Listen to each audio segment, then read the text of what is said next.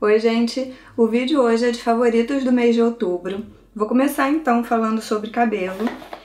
E eu tenho usado bastante esse shampoo da Natura, é, Natura Plant Hidratação Reparadora. Ele é um shampoo que tem concentrado de quinoa e ele é bem hidratante, sabe? Ele é bem cremosinho o shampoo. Ele é branco, um branco leitoso, sabe?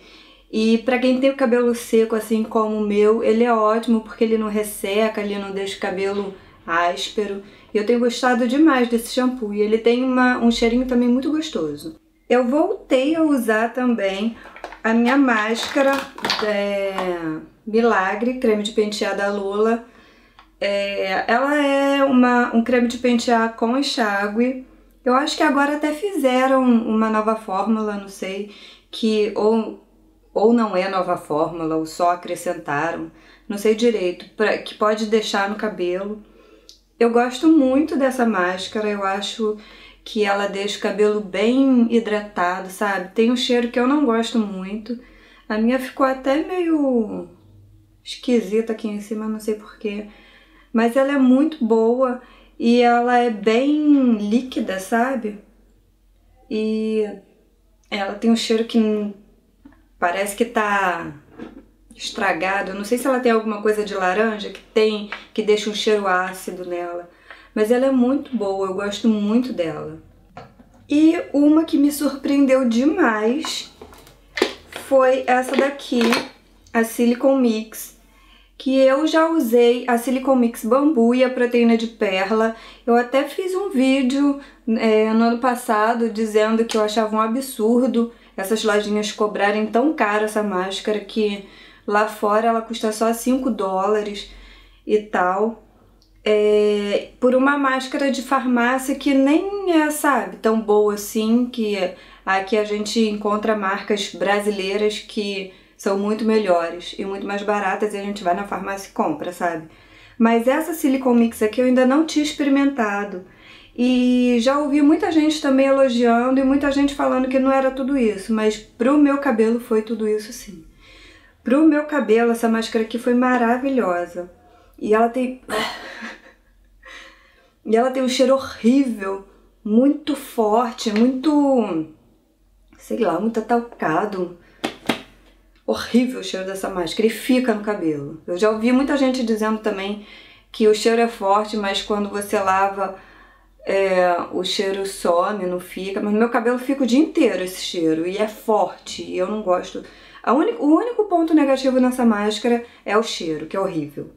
Mas ela é muito boa, deixou meu cabelo muito macio ao toque, sabe? Hidratado, brilhoso.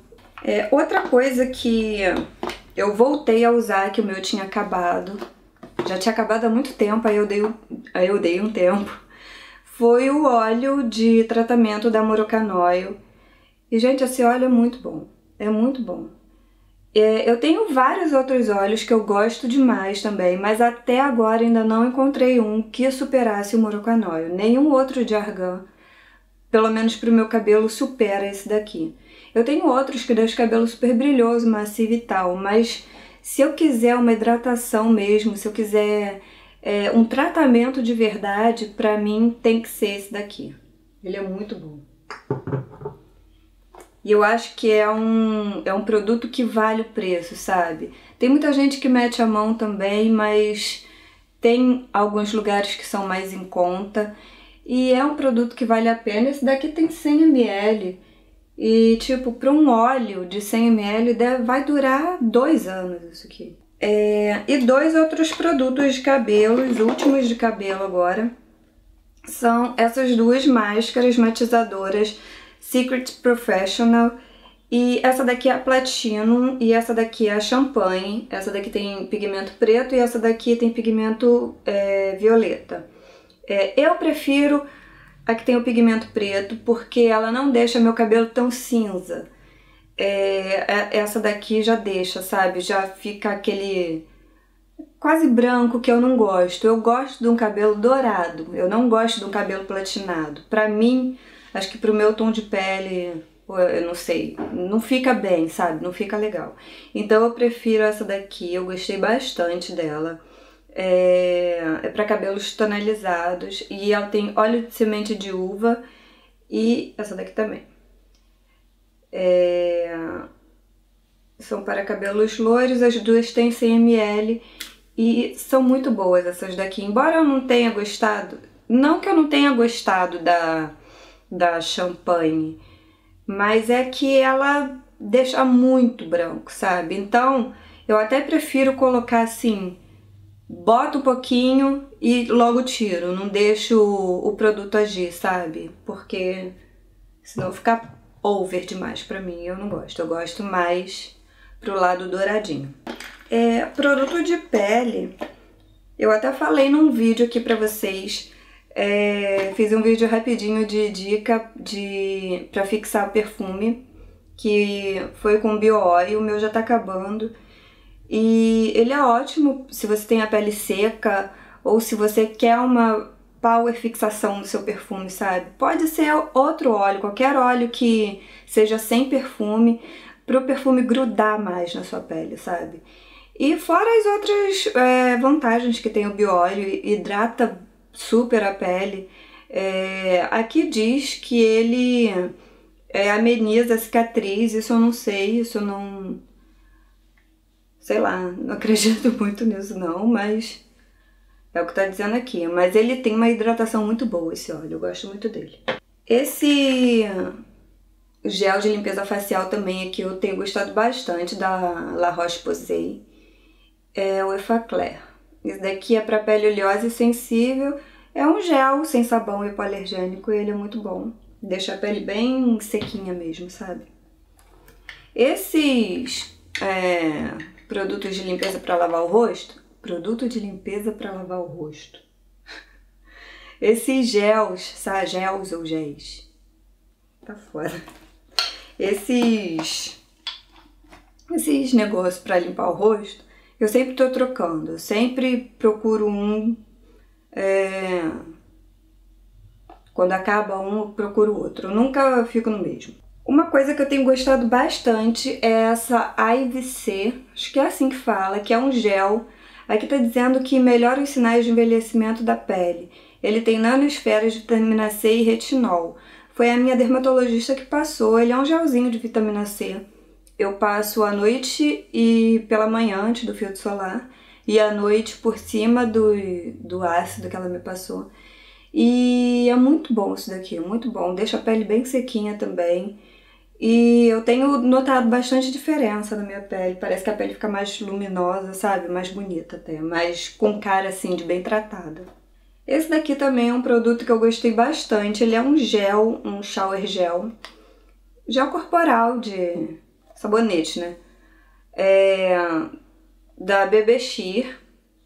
E da marca BB, né? O nome do perfume que é Sheer. Acho que é isso. E ele é muito gostoso, esse daqui, muito gostoso. Pena que ele só vem junto com o perfume. Eu até voltei lá na perfumaria para ver se eles vendiam só isso daqui sozinho, que o meu já acabou. Mas eles não vendem, eu fiquei super triste, eu queria outro, eu não vou comprar outro perfume para ter o gel. É muito bom, tem um cheirinho de de massa verde muito gostoso. Muito, muito gostoso. É, de maquiagem, eu comecei a usar de novo o meu blot da MAC, MAC. O meu é na cor Medium Dark. E para quem tem pele oleosa, isso daqui é muito bom, porque deixa a pele bem sequinha, sabe? Mas é, eu acho que tem que dosar quando você for passar, porque senão ficar carregado fica com cara de reboco. Aí eu não gosto não. Eu comprei esse BB Cream, que é 8 em 1 da Maybelline, é o Dream Oil Control e é um dos BB Creams que pelo menos que eu já usei, que eu achei o melhor. Ele diz aqui que ele é anti-imperfeições e controle de oleosidade, tem 2% de ácido salicílico. O meu é na cor médio, ele tem FPS 15 também. E custou R$29,90 na farmácia. E eu achei isso aqui muito bom. Eu não gosto muito de, de andar com base, essas coisas. Na verdade, eu não ando com, com maquiagem, é muito raro. Quando eu vou na rua com alguma coisa assim, de base, alguma coisa. Muito raro eu ir na rua maquiada. Mas esse daqui eu gostei bastante, ainda mais aqui pro Rio de Janeiro, que é, derrete a cara da gente. De batom, é... eu gosto muito dessa linha de batom da Maybelline também, Superstay 24 horas. Só que eu não consigo ler a cor desses batons. É muito pequeno e vem tudo embolado aqui. É Keep It Red, eu acho. E ele é um rosa mais pro pro avermelhado. Não é tão vermelho, é esse que eu tô usando. E ele é muito bom, ele é muito bom. ele é muito bonito. E ele não sai da boca, só sai com pelo menos da minha boca ele não sai, só sai com demaquilante. O negócio gruda mesmo. De máscara de cílio, eu apaixonei por essa daqui da Essence, que é I Love Extreme. Aqui, aqui embaixo tá escrito que é Crazy Volume e é realmente, o negócio deixa o negócio lá no alto. E essa daqui foi a Jéssica que me mandou. Obrigada, Jéssica. Isso daqui é muito bom. É a melhor máscara que eu já usei até agora. Ela tem esse aplicador aqui grandão. E é muito boa essa máscara, é muito boa. Ela deixa o cílio crazy mesmo. Crazy volume. De, de esmalte, eu geralmente não mostro esmalte, mas eu gostei muito desse daqui, que é da Bruna Marquezine, esse rosinha, muito bonitinho. Ele, o nome dele é, acho que é Free. Cremoso Baby, e agora eu não sei se, se é a cor. Mas é esse rosinha aqui clarinho, rosinha bebê mesmo. E o outro é da Jo Antonelli, que é esse prazer cremoso, que é esse que eu tô usando. E é muito bonito esse esmalte também. Muito lindo. Agora eu tô na onda do rosa. E de perfume, foram quatro perfumes, porque esse mês deu a louca dos perfumes. Na verdade, dois que eu queria acabar com eles logo, que já estavam no finalzinho. Um é esse daqui, que é o Pulse da Beyoncé. E ele ainda tem um, um pouquinho só. Eu gosto muito desse perfume. É um perfume que eu acho que no inverno do ano que vem eu acho que eu vou comprar outro, porque eu gosto demais desse perfume. Ele é um doce abaunilhado, mas que tem um azedinho que fica... que deixa o perfume confortável, sabe? Eu acho muito gostoso esse perfume. Outro é o Prada Lô, que também acabou. Acabou não, tem um restolho. e esse daqui é um perfume que eu vejo que muita gente não gosta. Eu tipo usei o, o perfume o mês inteiro, sem sem querer usar outro. Ele tem. Ele é um pouco mais suave que o, pra, que o candy tradicional, mas ele ainda, ainda assim, ele tem uma presença, sabe? Ele é marcante. Ao mesmo tempo que ele é marcante, ele é um pouco mais leve. E eu gosto bastante desse perfume. E a fixação dele na minha pele... Sabe quando você acha que o perfume fixa, não fixa bem na sua pele, mas que na verdade você se acostumou com o cheiro? Então era isso que estava acontecendo com esse perfume. Ele fica na minha pele tipo quase o dia inteiro. Mas como eu estava usando muito, eu tava achando, eu não, não percebia mais o perfume em mim. Então às vezes tem isso também. Aí quando aqueles dois ali terminaram, ficaram assim no restinho, é, eu peguei para usar o meu Jimmy Choo EDT, que é um perfume bem mais suave do que aqueles dois, bem mais alegre até também. Só que esse daqui é a mesma coisa que estava acontecendo com o Candy. A fixação dele na minha pele não é boa. Mas eu ainda não sei se eu não tô conseguindo mais sentir ou se realmente é ruim a fixação dele. Mas eu gosto muito desse cheiro. E por último, esse daqui, que é o Sheer da BB, que vem nessa caixa linda. E ele é muito fofo, eu comprei na promoção. E ele abre assim a caixa. Espero que não caia que eu sou mestra em quebrar as coisas. Aí ele abre assim, aí aqui tá o perfume. E eu comprei logo de 100ml, eu não costumo comprar perfume de 100ml. Mas como ele tava na promoção, eu quis comprar logo o grande.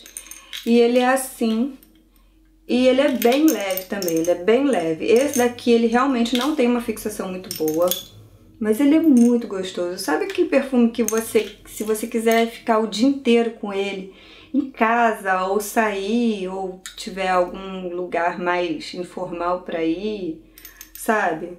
Que você sabe que não vai é, agredir ninguém, que é um perfume mais versátil até e mais descontraído. Não sei se eu posso falar que um perfume é descontraído, mas é assim, sabe? Um perfume mais leve, mais suave e que você se sente como se tivesse acabado de tomar banho, sabe? Muito gostoso. Ele tem um cheirinho de massa verde muito bom. Muito bom. É muito gostoso esse perfume. E é um perfume que, tipo, eu acho que eu vou usar que nem aqueles outros ali. Vou usando até acabar. Acabou, acabou. E esse mês eu li dois... Eu, na verdade, eu li quatro ou cinco livros, mas eu peguei dois para mostrar para vocês. Um é esse daqui, que é um romance inesquecível, que ele conta a história de uma condessa da, da alta sociedade que ela vai. Ela tá sendo ameaçada. Tem um serial killer matando as, as mulheres de alta postura, assim, na, da sociedade e ela acaba contratando um segurança particular e acaba se apaixonando por ele, aquela coisa toda, e, e tem um mistério envolvendo esse, o mistério do serial, serial killer no meio da história. É, assim, eu gostei, mas é um livro bem água com açúcar, porque na verdade eu fiquei interessada porque eu gosto da, dessa autora, que é a mesma autora daquela série da. da da Daga Negra dos vampiros que eu gosto. E eu pensei que eu fosse que eu fosse gostar mais, sabe? Eu gostei. Para quem gosta de romance, vai gostar desse livro aqui. Mas não foi aquele negócio, oh, mas eu gostei. E outro é, foi esse daqui, que é o Dexter, A Mão Esquerda de Deus. Na verdade, eu peguei esses dois livros porque os outros dois que eu li eu gostei ainda menos desses daqui. Esses daqui eu gostei, mas sabe quando você acaba se decepcionando com alguma coisa? O Dexter foi o primeiro livro do Dexter que eu li. E eu acho que eu não peguei não fui feliz na minha escolha, sabe? Eu acho que deve ter alguns outros que são melhores. Esse daqui, o rapaz da livraria me falou que era o primeiro, que foi o livro que deu início à série. Ah, tá até escrito aqui, o livro que deu origem à cultura série. Cultu, a cultuada série Dexter. É, então tá rolando um, um serial killer também. Que vai matando as prostitutas da cidade de Miami. E o Dexter ele fica atraído pela forma como esse, esse serial killer tá matando as pessoas pelo modus operandi dele, sabe? Ele fica achando que ele é tipo é, um cara super inteligente, que ele queria fazer daquele jeito, sabe? É, e o Dexter, o Dexter também ele é meio totoca, né? Ele mata as pessoas. Ele é um serial killer, na verdade, só que ele mata as pessoas que que ele julga que são escórias da humanidade, sabe?